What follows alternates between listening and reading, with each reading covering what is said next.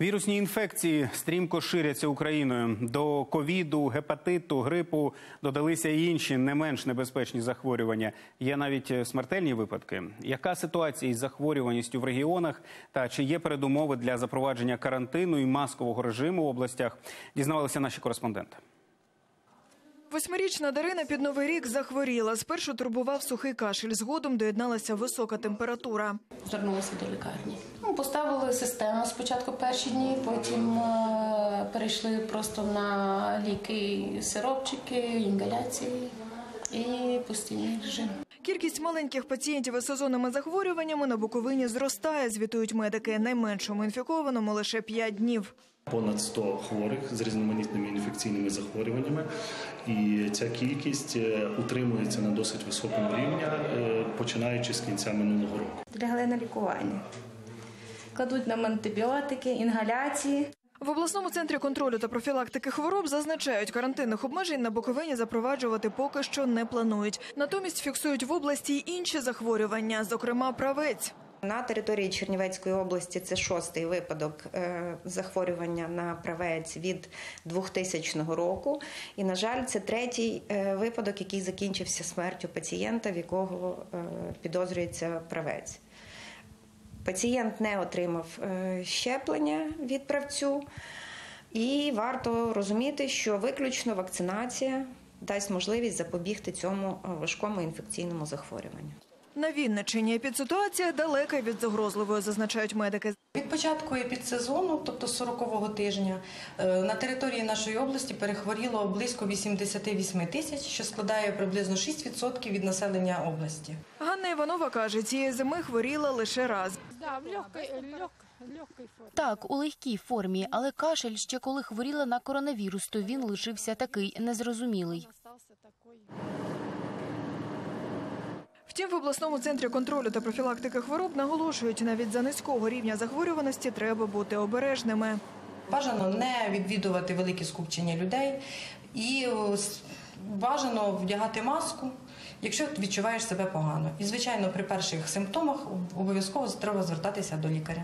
На Одещині епідситуація ускладнена через спалах кору. Перші симптоми хвороби це висока температура, головний біль, нежить, сухий кашель, збільшення лімфоузлів, запалення слизової оболонки очей. На четвертий-п'ятий день хвороби з'являється червоний висип. Минулого місяця небезпечним недугом захворіли двоє жителів Одеси. Випадків кору в регіоні не було протягом останніх двох років. Захворіли одночасно з одного сімейного вогнища е, двоє дітей трьох та восьми років. Діти не щеплені проти кору е, через відмову батьків е, за релігійними переконаннями.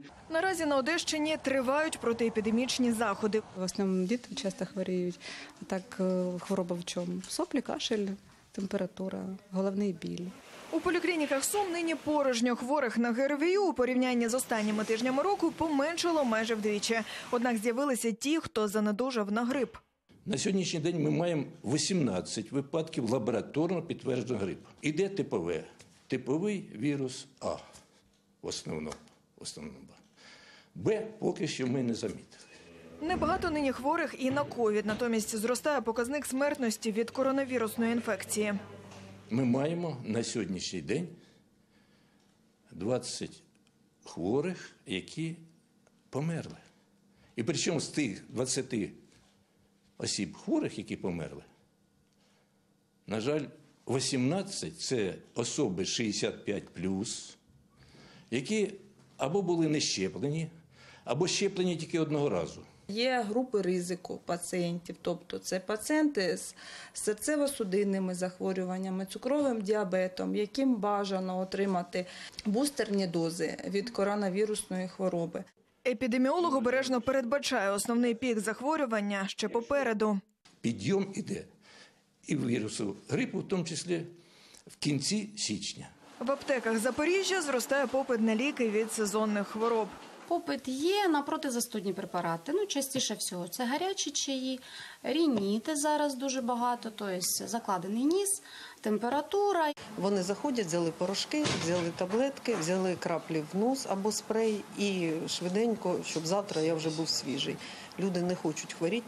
Втім, медики вкотре нагадують, перш ніж купувати пігулки, слід проконсультуватися з лікарем. Нині фахівці фіксують на Запоріжжі поступове зростання сезонних захворювань, але про перевищення підпорогу мова не йде. Десь наразі кожен десятий захворілий це захворіли саме на коронавірусною хворобою. І що, на жаль, вже 14 людей загинули від цієї хвороби.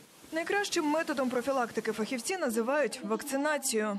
Всі наші медичні заклади забезпечені достатньою кількістю вакцини щодо проведення повного вакцинального курсу, щодо проведення бустерних доз імунізації. Здорового способу життя також ніхто не відміняв. У меня каждый день зарядка. У мене щодня руханка зранку, і щодня я намагаюсь проходити свої 10 тисяч кроків. Зазвичай мені це вдається. Так, фізична активність обов'язково.